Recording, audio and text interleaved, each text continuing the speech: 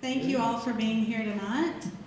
And I would like to thank UTC for hosting us and UCW for welcoming everybody onto campus and Move to Amend for hosting the sign-in table out front and also for In These Times and Mike Elk for being with us here tonight.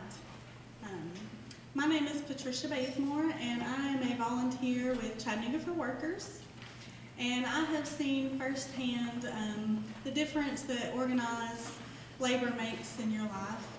Um, it's one thing to hear uh, statistics like 20%, uh, union workers have 20% higher wages than non-union workers, or that union workers are 31% more likely to have employer-provided health care, or that union workers are 60% more likely um, to have employer-provided pension plans, or that they are 22% more likely to be provided with sick leave.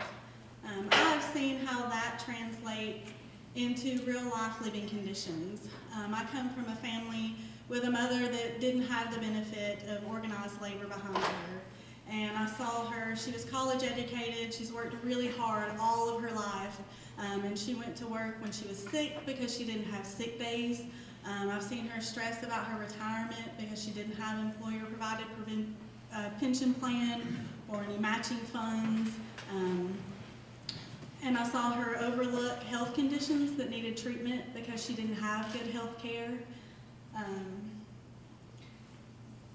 and I've seen her um, fired and pushed out of positions because she tried to improve the working conditions where she was at um, which would have benefited her and her coworkers and the company that she worked for. Um, on the other hand, um, my father has been a member of the International Brotherhood of Electrical Workers for over 20 years, and I've seen the difference that that has made in his life, having a decent wage and being able to provide for himself and his family, um, having the peace of mind of job security and retirement and a pension plan, being able to take off work without the stress of losing wages whenever he's sick having good health care and being able to have his health issues treated, um, and mine as well, most of my life because I was a benefit of that uh, good health care. Um, and I've also seen that uh, the companies that he worked with were stronger for that because they had a strong, dependable workforce that was healthy and was happy and um, were invested in the places that they worked with.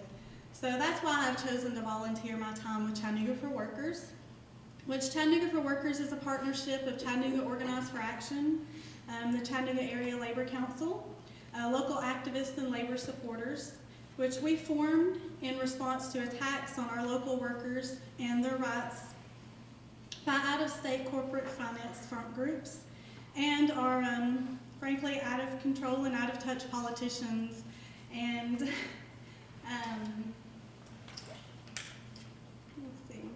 We know that our workers work best when they work together. And we know that our community supports our local workers and the right to organize and work together for a fair wage and decent working conditions. And that's why we've come together. Um, we know that we want companies here that value their workers and are invested in their workers and value their workers' input in the management of their company. So that's kind of my story behind why I've chosen to dedicate my time here. And as you guys know, um,